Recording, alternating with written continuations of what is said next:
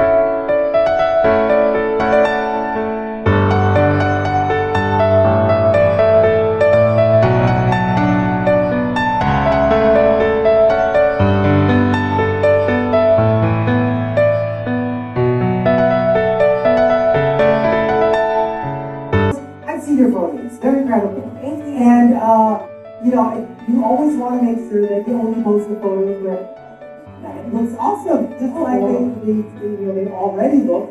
What more if you're armed with something like a Zenfone 2, right? It makes it super easy.